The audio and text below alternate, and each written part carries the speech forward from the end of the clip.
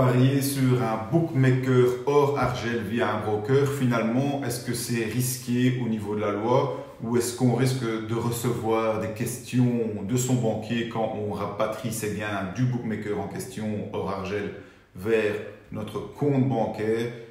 Je vais répondre à ces doutes et à ces craintes dans cette vidéo. Pourquoi? Parce que ce sont des questions que l'on me pose chaque semaine il y a encore de ça deux jours ou trois jours, j'ai reçu une question de ce style, hein, avec des craintes sur la manière de d'utiliser les gains sur ces bookmakers.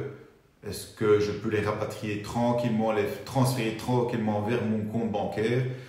Eh bien, je vais y répondre tout de suite. Mais avant, je te demande juste de prendre quelques secondes de ton temps pour t'abonner à ma chaîne YouTube et cocher, activer la cloche de notification. Pourquoi? Parce que je mets environ une euh, vidéo par semaine et tu seras notifié, averti directement au moment où je publie ma nouvelle vidéo. Alors que les choses soient claires ici, je ne vais pas t'expliquer comment parier sur un bookmaker Oragel puisque j'ai déjà fait une vidéo sur ce sujet, hein, que ce soit de la France, de la Belgique ou tout autre pays, tu peux parier sur Pinacle, Betfair, Orbitix, etc. Je te mettrai le lien de cette vidéo à la fin de cette vidéo que je suis en train de tourner. Et tu pourras aller la regarder ici. La question c'est voilà, maintenant que tu as ton compte, que tu paries sur Pinacle ou Betfair, hein, qui sont en fait Orbitix ou PS, je ne sais plus combien, 34, 34, enfin soit, maintenant que tu paries sur un bookmaker hors Argel, alors hors Argel c'est pour la France, mais c'est la même logique pour la Belgique par exemple, puisque en Belgique, quand on est belge, on doit aussi parier uniquement sur les bookmakers belges. Donc, c'est aussi, je veux dire, quelque chose qu'on n'est pas censé faire d'aller parier hors de la Belgique quand on est belge. Donc, c'est le même combat. Mais je vais ici parler de hors argel parce que c'est un terme que la plupart des parieurs connaissent. Alors, dès que tu as ton compte hors argel, tu as, tu as déposé l'argent, aucun souci à ce niveau-là et à un moment donné, tu fais des gains et tu veux faire un transfert du côté de ton compte bancaire. Est-ce que tu risques à ce moment-là de te faire prendre? Est-ce que tu es dans l'illégalité L'illégalité, pardon? Eh bien, la réponse pour moi est clairement non. Et je vais t'expliquer pourquoi. Première chose à savoir, première chose, c'est que dit la loi La loi te dit que je vais prendre l'exemple d'un résident français. Un résident français ne peut pas déposer de l'argent, ouvrir un compte chez un bookmaker hors Argel. En gros, c'est un bookmaker qui n'est pas .fr. Idem pour la Belgique, tu ne peux pas déposer de l'argent ou ouvrir un compte chez un bookmaker qui n'est pas .be. Ça, c'est ce que dit la loi. Ensuite, comment, deuxième chose à savoir, donc retiens ce premier point. Le deuxième point, c'est comment fonctionne un broker, comme Asian Connect, puisque c'est celui que j'utilise actuellement. Comment fonctionne un broker? Eh bien, tu vas déposer ton argent chez ce broker et ce broker va ouvrir un compte à son nom. C'est ça la clé, à son nom, depuis un pays autorisé, à son nom, chez un bookmaker hors argent.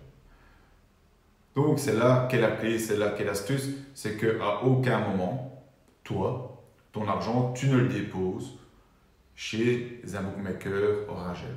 Mieux que ça, à aucun moment tu n'ouvres un compte à ton nom chez un bookmaker Orangel. Donc à aucun moment, à aucun endroit, chez aucun bookmaker Orangel, via broker, à aucun moment ton nom va apparaître dans la liste des comptes de ce bookmaker. Que fait en fait le broker? Lui, le broker, reçoit les fonds. Et de toi, de tous les parieurs qui veulent parier au Argel, de moi. Il reçoit ses fonds, donc il a un fonds, et avec ce fonds, que fait-il? Eh bien, il ouvre un compte à son nom, à son nom chez Betfair ou Pinacle. Alors pourquoi lui ouvre un compte à son nom? Lui, il peut parce que souvent, il est localisé soit à Malte, soit en Chine, et lui a les droits d'ouvrir un compte sur Betfair ou encore sur Pinacle. Et donc voilà, c'est pour te dire que tu n'es pas dans l'illégalité. Donc aucun risque au niveau légal. Ensuite, est-ce que tu risques d'avoir des questions de ton, euh, banquier en disant, ben voilà, c'est bizarre, j'ai reçu des fonds, je vois que ça vient, euh, ce sont des, gains que tu as fait euh, grâce au paris sportif, et je vois que ce sont des gains que tu as fait grâce au paris sportif. Est-ce que tu risques des questions de la part de ton banquier? Surtout que ça va être donc des comptes étrangers hein, qui ne sont pas de la France ou de la Belgique. Eh bien, déjà, il faut qu'il sache que ça vient des paris sportifs. Pourquoi? Parce que comment ça se passe en pratique? En pratique, ton argent va venir de Skrill. Skrill ou NetTeller, donc portefeuille virtuel. Donc ton banquier, tout ce qu'il va voir, c'est un virement qui va de Skrill ou de NetTeller vers ton compte bancaire. Rien de plus.